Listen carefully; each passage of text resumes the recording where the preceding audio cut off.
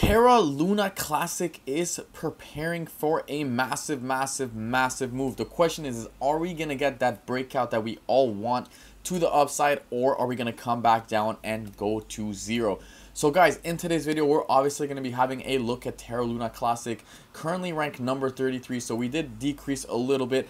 Volume is still quite high, $960 million in volume, 44% of course, and the market cap is a little bit under $2 billion, traded at triple three two seven nine two, and of course the volume to market cap ratio is 56%, which is quite good. So the volume is still high, people are still interested, people are still trading this coin, it's still trending, and that is it. If we have a look at the top burning entities wallet, so we could see that MEXC right now is currently ranked 900 or 2 with 915 million tokens burn.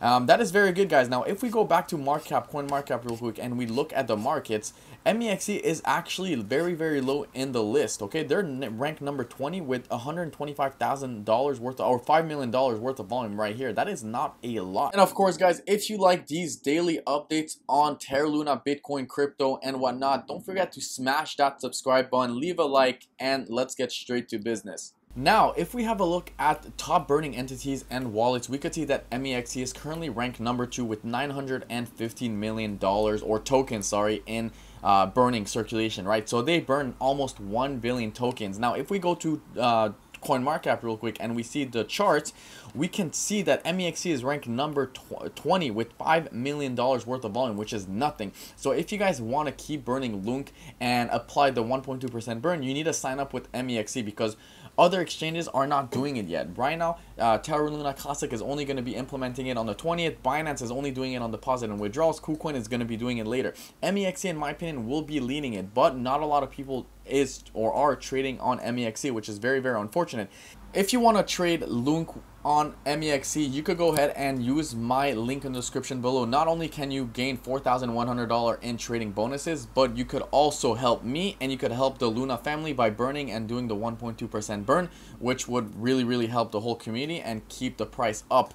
And uh, I mean, that's about it overall. Let's have a look at some technical analysis overall, see where we can go. So, assuming we break out of this falling wedge, where can we go? Well, we know when we break out of the falling wedge, we usually come back and retest this area right here, which it started, where everything started. Now, this is a massive, massive pump if we close above this falling wedge, okay? This uh, closure would have to be 14% right now, and it would have to close on the 4-hour time frame. If we have a 4-hour closure above 31, this would be a clear confirmation, not to a breakout, but at least for a 70% pump to 47, and then maybe we could think for 110% pump. But as of right now, guys, we know that falling wedges, okay, they usually are like this, and they get tighter and tighter and tighter as we get down. Look at that. We are entering a very, very tight area. The question is, are we going to break out today? Are we going to break out tomorrow? Well, if we have a look at the bottom of the falling wedge, which is currently sitting right here, this is currently September 16, which is tomorrow. So are we going to have a massive, massive move?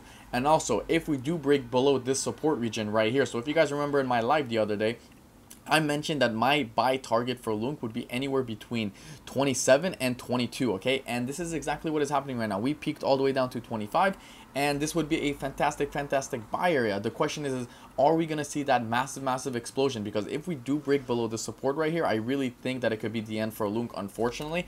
But I don't think it will be because the community is so strong.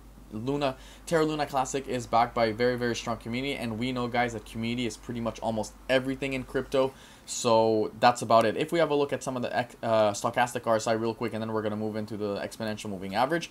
Having a look at the stochastic RSI on the four hour time frame it seems like we are pretty or entering the overbought or oversold area right here below 20 if we do that we could have that nice little flip.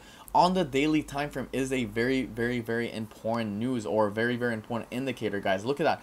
On the daily time frame it seems like the stochastic RSI are trying to make a massive massive move towards the upside so this is the best news I can give to you guys unless something really really bad happens. And yesterday there was a lot of FUD with a Do Kwon warrant arrest. But right here the last time we flipped over was right here guys. It was the 22nd of August and we absolutely took off. Look at that. It was declining declining declining. And then boom, we just exploded. We absolutely moonshotted rocket to the moon 627%. Now, am I saying we're going to see 627% again? No, I'm not saying that, but we could definitely see another 100, 200% gain. Guys, remember, the market cap is still fairly short. $1.7 million is not that it's not that crazy. We go 100%, that's 3 billion. Another 100, 200%, that's another that's another 1.7 billion added to the market cap. That is not a lot. Okay, we saw we saw Shiba Inu at 30 billion. We saw Terra Luna at 40 billion. We saw all these coins at a very very high uh, market cap. So it's not that crazy. Uh, going back into LUNC real quick. So yes, going back into the stochastic RSI, it seems like we are trying to make that flip and things are looking very, very bullish overall on the daily time frame. If we have a look at the exponential moving average real quick, I mean, look what happened right here, guys. Look what happened we are still above the EMA ribbon. I mean, unless we break down below right here, this is when things are going to get very, very bad, which is the 55 EMA. As of right now, we are being supported pretty, pretty well, and that's about it. Of course, we could come to as low as 21, which is which would be exactly this. Um, not only would it be the green box, but it would also be the 55 EMA ribbon, but we could also have that nice little rebound. Now, if we have a look on the four-hour time frame, it tells a different story. We are still looking pretty, pretty bearish on the four-hour time frame, but of course, that's because we are below the falling wedge right here and um, that's about it. I mean, overall, we got a rejection right here on the four hour, came back down and looking bearish. Now we know when we're above it, what happens? Boom, we turn bullish essentially. So this is exactly what is happening overall. If we have a look at some of the volume indicators real quick, because volume does mean a lot. So having a look at the volume indicator real quick, we are seeing a decrease in volume. Now we're, when we're seeing a decrease in volume is pretty, it's usually a good sign. I mean, a big, big move is imminent, and it's really only a matter of question of when and not if. And it should happen very, very, very, very soon, in my opinion. Of course, guys, if you will be trading this, make sure you put in your stop losses.